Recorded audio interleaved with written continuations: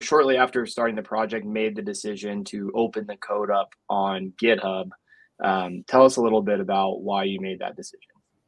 Yeah. Uh, first of all, uh, for me, it wasn't uh, shortly right afterwards. it was a quite painful eight months of very intense development during COVID.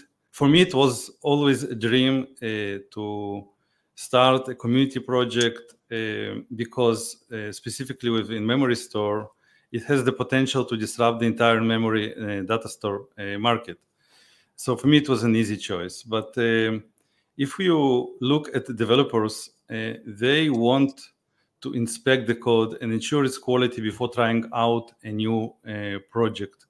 Uh, so having a fully transparent uh, GitHub project helps us uh, to build this um, trustworthy relationship with developer community and with uh, potential customers.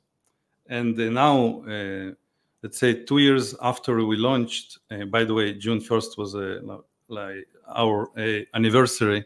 So two years after we launched, um, I think it was one of the best decisions we've made uh, because uh, now we have uh, uh, customers that use our managed service, and they told us that they actually tried Dragonfly community before reaching out to us. So basically, they tried that uh, this uh, technology, they liked it, and then they decided to convert it, become our paying customers.